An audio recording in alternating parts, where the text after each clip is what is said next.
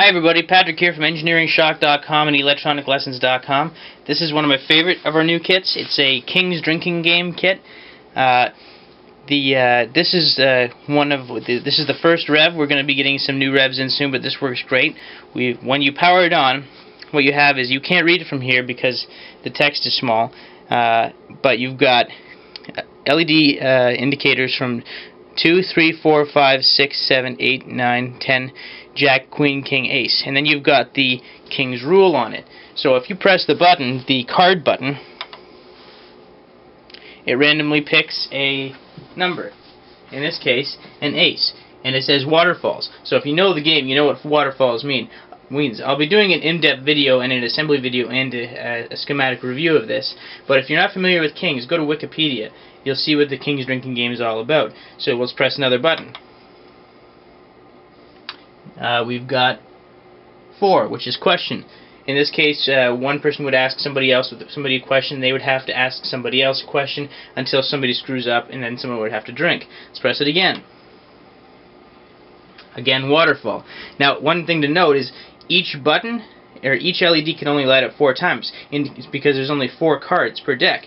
Once 52 cards is run out, there's a shuffle sequence where the LEDs go a little bit crazy. It's pretty cool to see, but uh, there's not enough time to go through 52 cards. So let's press it again. And that's uh, 3, which is give 3. So if I picked up that 3 as a card, I would give somebody at the table 3 drinks. Someone who was uh, who deserved it, or I was getting revenge on someone. So we press it again and that's uh, 8, which is drinking buddy, which point you would pick somebody at the table to be your drinking buddy. So every time you had you drank, they would have to drink with you. Anyway, that's the King's Drinking Game. I'll give you a better video for this because you don't actually get to see how much fun this can be. I'm bringing it to uh, friends for a uh, Christmas party. I'm hoping that uh, we have a great time with it. Let's just do one more. And that's 9, which is rhyme time. So if I said something like uh, game, you'd say lame or same until somebody couldn't say anything that rhymed anymore and then they would have to drink. So it's based on the PIC18F1220 microcontroller and all the rest uh, components are just passives like resistors, uh, uh, regulator, capacitors, LEDs, and so much, so forth. It's very easy to put together, but since it's uh, a Rev 1, it won't be. Uh, this used to have a shuffle option, but I'm phasing it out. Uh, in the second Rev, it will be there, but in the meantime, there's no reshuffle button.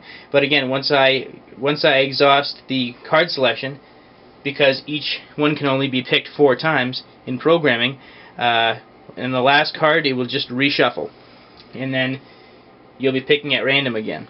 So hope you like this. I'll give you a better video later, and uh, maybe you'll consider purchasing it.